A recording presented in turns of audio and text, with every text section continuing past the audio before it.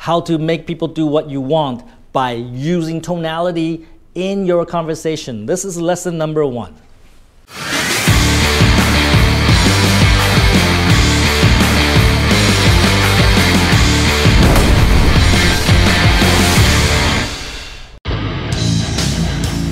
Hey Tom, it's the one and only Floyd Money Mayweather. First I want to say congratulations on your YouTube channel. Everybody needs to follow your YouTube channel. So what everyone needs to do is subscribe to Tom Peng. Great guy, great person. Tom, keep up the great work.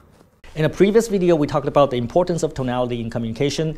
According to Tony Robbins, you know, only 7% of the communications is, is, the words that you use coming out of your mouth, but 97% of your communication is actually your tonality and also your body language, your physiology, right? Today we're going to talk about tonality, all right? Because a lot of times tonality is the thing that's most important, especially if you're on the phone, right? If you're talking on the phone, you know, they can only hear the words that you say and also how you say it, the tonality that you use, right? So uh, when you're in a face-to-face situation, yes, of course, your body language is also important, but uh, when you're on the phone, tonality actually will decide very much how that conversation will go, all right? So tonality is so important because, you know, again, like most of your communication is actually tonality. It's not the words that you say. You can say the same words with different tonality and get complete different results. Okay, let me give you an example. Let's say you are, um, you know, confessing your love for uh, your, your girlfriend or your boyfriend. Okay, and this is I'm going to say exactly the same words. All right. So uh, somebody who you know don't really understand how to use tonality will say something like this. Hello, um, you know I love you, right? I love you, right? You know I love you, right? Okay, I'm to use exact same words. All right? So, the, somebody who knows how to use tonality. Hey, baby, you know I love you. You know I love you, right? You know I love you, right? Right? I mean, like, just by changing your, your intensity, changing your volume, changing your pitch, changing these things, you become more believable. You become more uh, authentic, more credible, right? So really tonality is, makes a huge difference, right? In today's lesson, we're not going to cover anything that's difficult. I'm just going to give you a few simple tips, right? Few simple tips. I already give you one, right? So few simple tips, right? So when you want to emphasize certain words, you, you, you prolong it, you, you elongate it, right? So, you know, I want to give you a few, you know, suggestions, you know, like I am emphasizing certain keywords in my, in my, in my, in my, in my sentence, right? When I say something, I will elongate, prolong the words I want you to hear, right?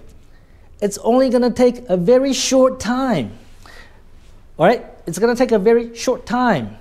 When you want to emphasize short, it's a short time. So what you say is consistent. The word and the tonality is consistent. Short. It's not long, right? This is going to take a very long time. This is going to take a very long time. So you're saying long, and uh, you actually elongate that word so that you emphasize that it's actually going to take a long time. My dick is very long. No, okay, no, not, not, let's not go there, right? So, you know, know which words to emphasize, right? Know which words that to emphasize because you're going to say a lot of words coming out of your mouth, but really, you want to emphasize on the keywords. It's like when you go see advertising, when you see the billboard, or you know when you walk into an elevator, you see advertising in the elevator, right? Notice how they, you know, some words they use big font, some words they use small font. They want you to see the words with big font. They emphasize that word with a big font because they're not speaking to you. It's a display. But when you're talking to someone, you can achieve the same effect by just by prolonging, prolonging the, the word that you want to emphasize, right? So use this trick. Like when you talk to someone, there's a thing that you want to say, but pick the right words to emphasize, right? In the beginning, you're gonna think about it before you do it, but over time, it's just gonna come very naturally. It just come out of your mouth. You just know which word, as you speak, which word you need to elongate, which word you need to emphasize. But you, you need to start doing it, right? People make emotional decisions. There are no logical people, right? Except Tom. Tom is very logical, but you know there are very few logical people in the world.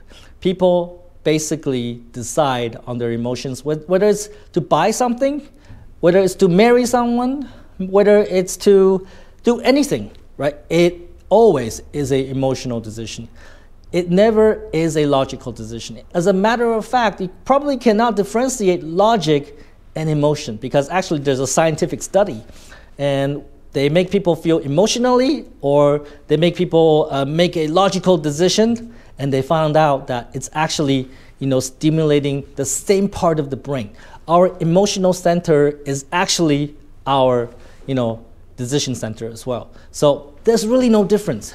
And when you can appeal to people you know, on an emotional level, then uh, they're more likely to do what you want. And that's why tonality is so important. I will do more uh, tonality lessons, see, more tonality lessons in the coming days. And this is lesson number one. And uh, don't be a fucktard. Practice your tonality. It will help you get what you want and take fucking action. And don't be a fucktard!